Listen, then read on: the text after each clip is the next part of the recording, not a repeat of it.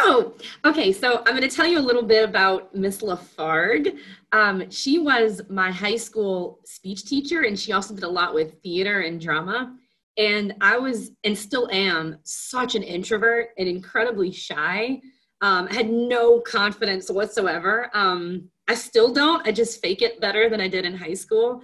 And she just took such good care of like each of the students, and she really made me feel like um, it was safe to like make mistakes and to try.